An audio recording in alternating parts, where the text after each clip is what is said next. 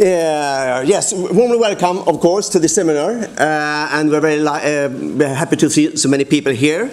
Uh, and I will uh, give you our organization's reflections on this focus.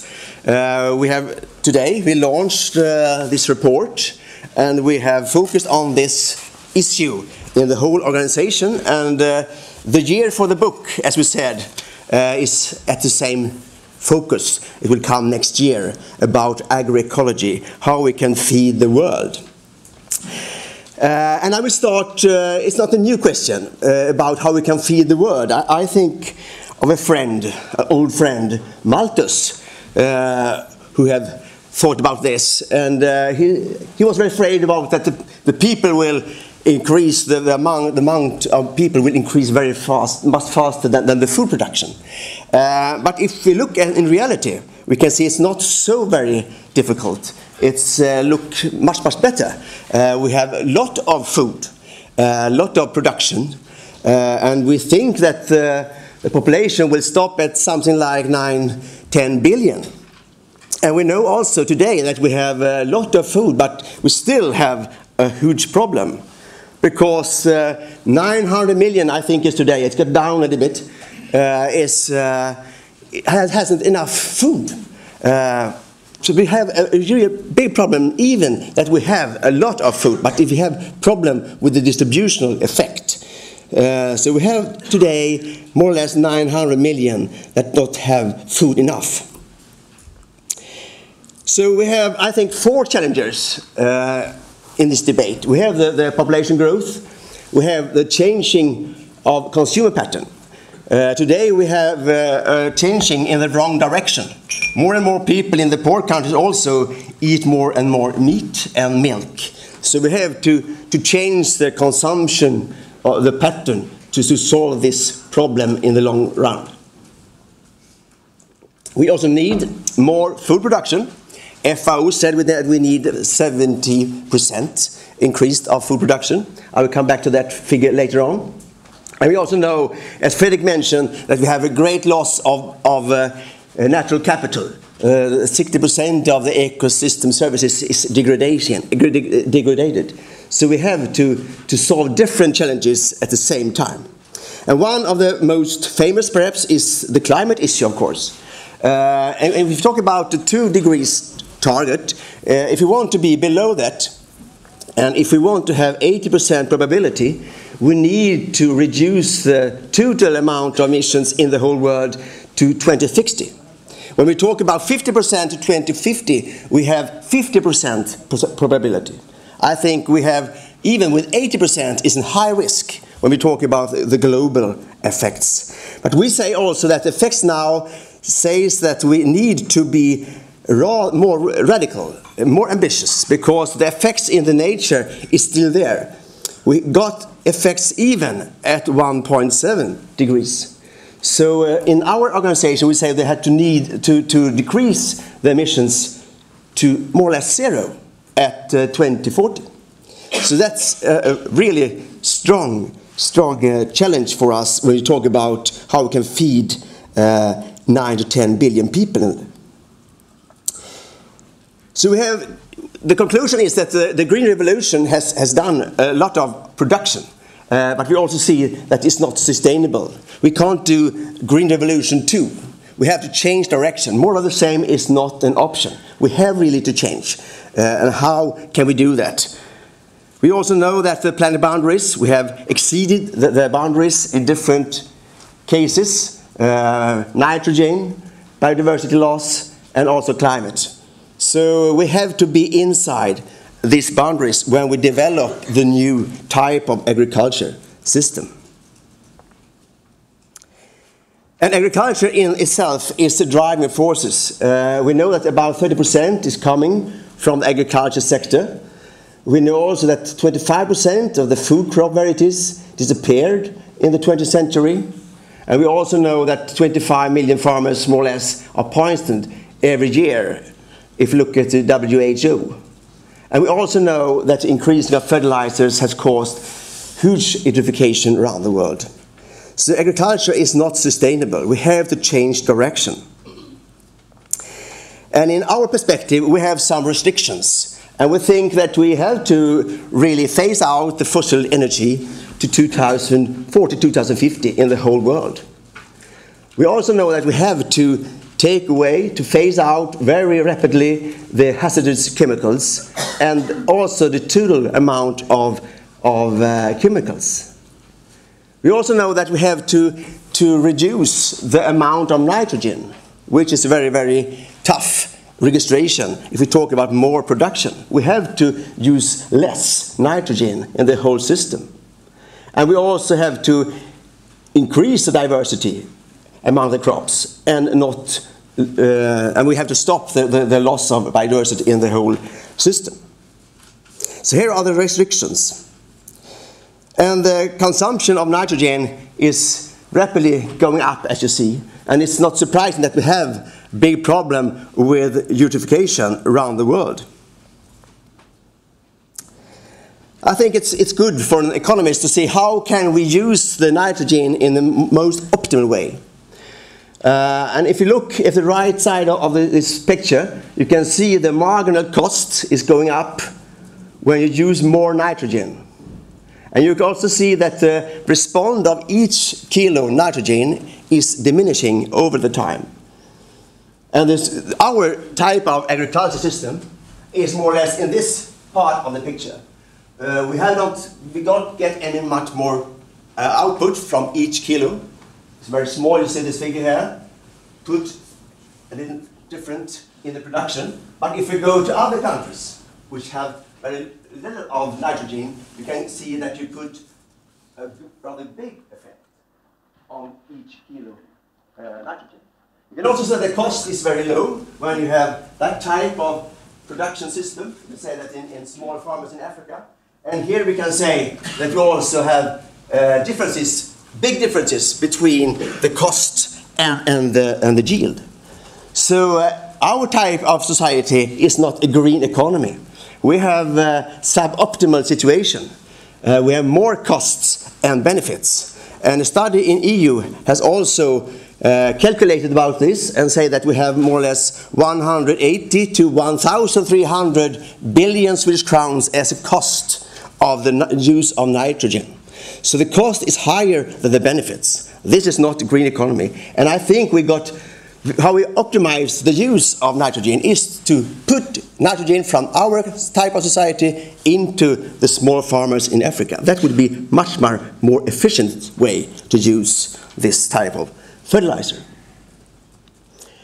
Can also interested to say something about the meats in, in the debate. Uh, it's still there. And some people say that we have to increase the total production. That is not sufficient.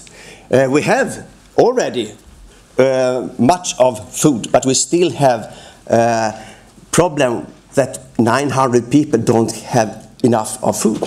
So that's not uh, the, the, the, the, real question. The, the, real question how we can distribute this food so that people could eat every day. We also know the debate about ecological farming. Uh, we have produced many reports that shows that we can increase the production. It's also a, a big study in, in uh, Michigan that also shown that uh, if you go into these agroecology principles, you will increase uh, the production uh, in many countries with 80% more or less. Uh, and the decrease in the industrial countries will be something like 5-10%. Uh, so we totally can increase the total production if we practice this ecological principle. We also say sometimes that the low price is good for reducing hunger, but that's not that's a good good answer because it's it's, it's still low price. It's too low prices. We need more incentives, more stimulation that it make it more beneficial, more more profitable to produce more food in the in the in, in the countries all around the world. So we in the long run need a higher price to get more production.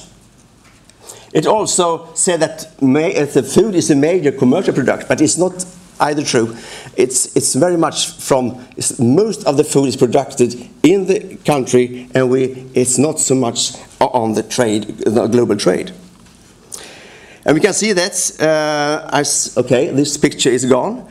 Uh, okay, I have to take another one. Uh, it could be interesting to see also where people live. Uh, and most of the people who don't have food for the day is living in the countryside in the poor countries. So that's why we need to focus on the small farmers that we could produce where people are living. It's also interesting to see the prices in the long trend. It's going down. We have some uh, uh, say, ex uh, exceptions but in the long run we see it, it's going down. Perhaps it would change when we phase out the fossil energy, but uh, we have to remember that the price has going down for the long time. I think this picture could be interesting to look at because we are back in, in a situation where we can use the fertilizers in the best way. Half of the production is today produced by the small farmers around the world. And half, more or less, is produced by the industrial agriculture. And if you use uh, nitrogen more efficient, we have to reduce the production in industrial countries and we will increase something like 50 to 80, 100%. And the total effect could be something like 50, 60% of uh, increased production. So uh, the question for today is to try to answer how can we really feed the world by 100% agroecology. And uh, here are some suggestions of, of, how we can solve this puzzle.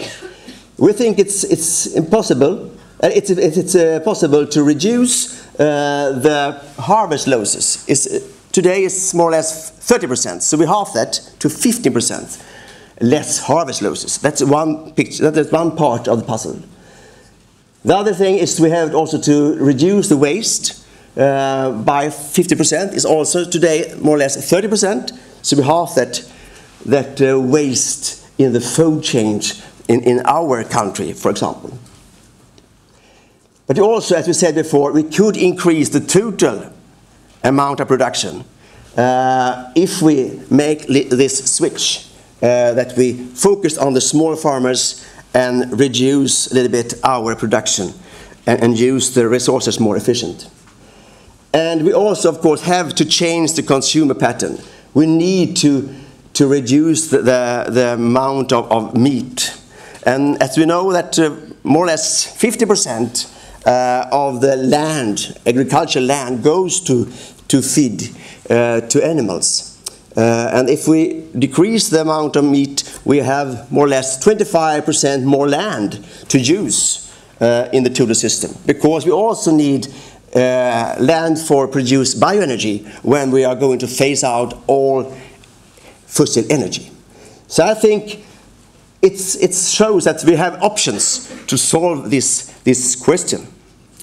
And finally, the key issues for the future, it's to, uh, first of all, we have to more publicity finance crop breeding because nowadays the crop breeding, uh, when it make it, to make it profitable, it's, uh, it's, not, it's not done to, to produce local uh, varieties uh, because it's not profitable for them to, to produce or special crops for Dalarna and special crops for Brussels and so on. Uh, that's, that's too expensive for them. Because we need to have public finance crop breeding so we could, could create much, much more local adapted uh, varieties. We also have to pay, of course, for the ecosystem services, and one important is the carbon sink, uh, and that could reduce the EU budget. 435 billion is going to the farmers in EU. We can use that in a more efficient way. We can pay for the to to to uh, the carbon sinks and, and pay the farmer for that work and produce these services. We have, of course, to phase out all harmful subsidies. If we're talking about green economy, it's, it's, it's a fundamental uh, task to do that. We have to introduce the polluter pay principle. We talk very much about it, but it's, it's not implemented. We also have to support in the aid program on the small scale farmers. That, that's the key message today. That, that's, that's a big option. They can do much more production and sustainable production. And we also have to have the same board text on feed and food. Uh, today we have no taxes on feed. That's why we have so much oil palm and, and, and soya in our production system. Uh, we have to have the same taxes on feed and food. And finally, uh, we need a huge uh, support for extension services, of course, and to spread this message around the world, how we can use it, uh, how we can use the resources in a more efficient way. And I think a very interesting question for the debate later on, how can we make this profitable? How can we make signals that this will be also uh, as a, a part of the market and not only selling fertilizers and chemicals? Thank you.